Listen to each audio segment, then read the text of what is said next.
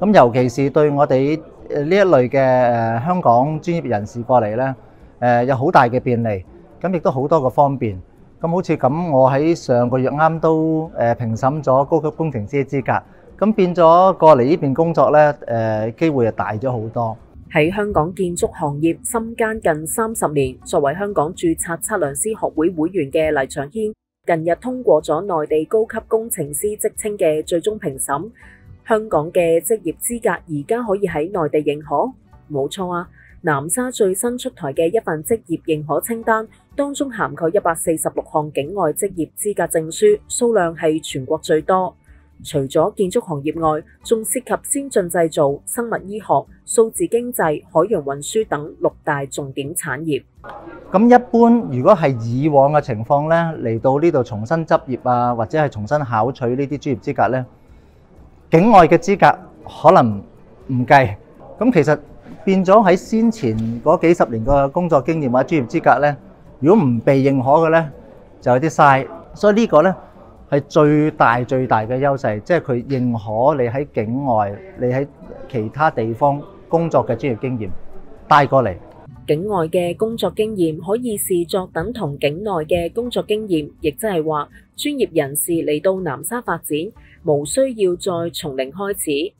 南沙发布呢份清单，亦都配合区内嘅人才政策，对持证人才嘅便利支持事项多达十一条。只要持有清单内嘅证书嚟到南沙工作，就能够享受到落户、安居、签证、用會、買車等多方面嘅保障。喺個清單裏邊睇得到，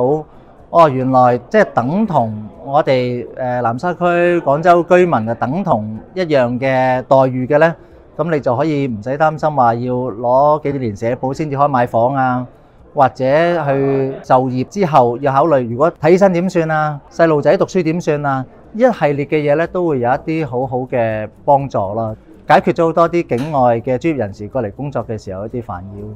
黎長軒同團隊喺南沙建設嘅慶盛枢纽 TOD 項目，係廣州引入香港工程建設管理模式嘅首個試點工程。建成之後，將會成為南沙首個集公共交通、商業辦公、青年創新創業為一体嘅標誌性建築。有咗呢個認可清單，越嚟越多港澳專業人士嚟到南沙發展，就再冇後顧之憂。